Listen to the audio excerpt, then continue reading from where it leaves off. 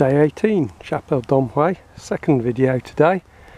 Uh, it's been a good day. Um, been planning all day and got on uh, got on well actually. I'm quite pleased.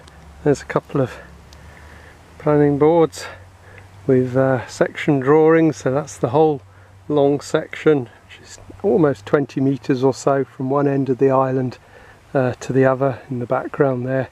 The whole of that drawn um, and the plans are more or less done. A few bits and pieces to add on. I've got another section to draw through the the, uh, the wall of the building tomorrow. I've even got the the line set up ready.